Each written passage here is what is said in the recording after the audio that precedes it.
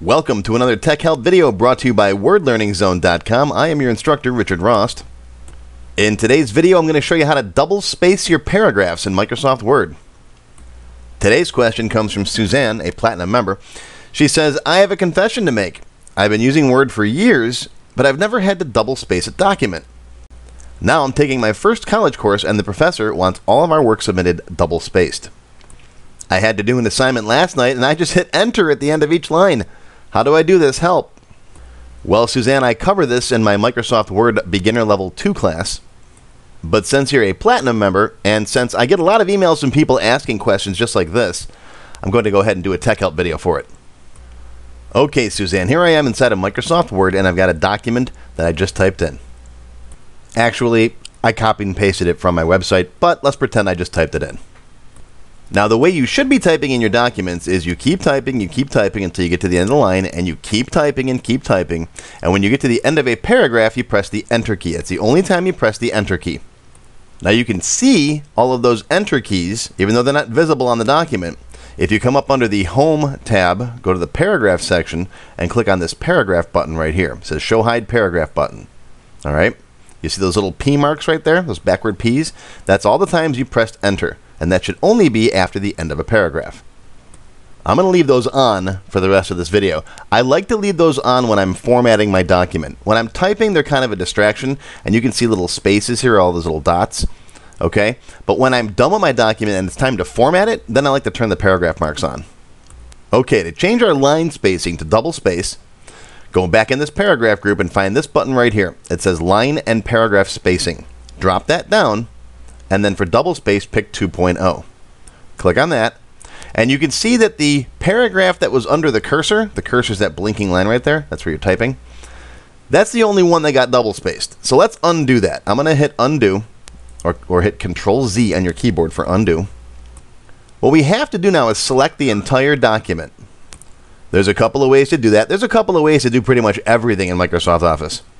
We can take our mouse, come over here in the margin, click and drag, That'll select whatever you want. That's handy for selecting like two paragraphs, for example, like that. Or you can simply press Control A on your keyboard. All right, once again, that's Control A to select all the text. So now that I've got all my text selected, come back to that button that changes the line spacing and change it to 2. And now you can see all of your paragraphs are now double spaced. And you can see it didn't actually add a return after each line right? That's what you were doing. You were basically pressing enter after each line and leaving two blanks there. I can continue to type anywhere in here and the, and the words continue to wrap around. See that? Now I can save and print my document and it will show up as double spaced.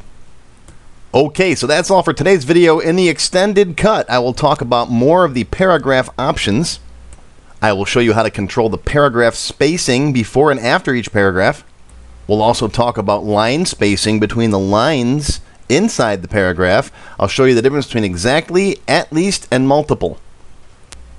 How do you become a member? Well, click on that join button below the video on my YouTube channel. You'll get access to all of my extended cut tech help videos. Most of them are for Microsoft Access, but I'm going to try to release more for Word and Excel as well, and PowerPoint and Outlook and all the other ones.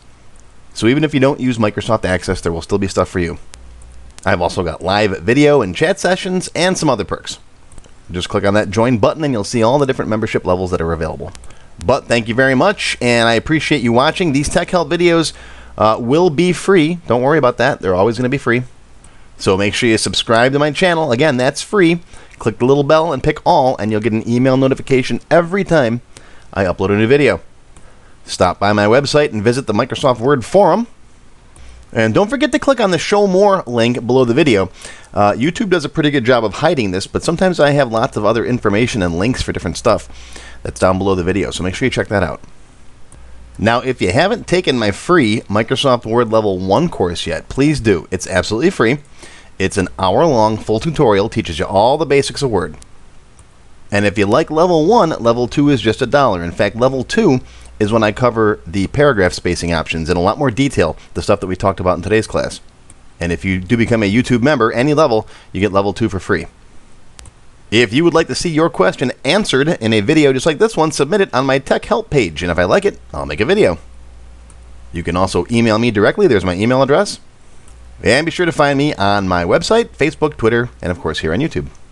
Thanks for watching. I hope you learned something, and we'll see you next time. Keep learning.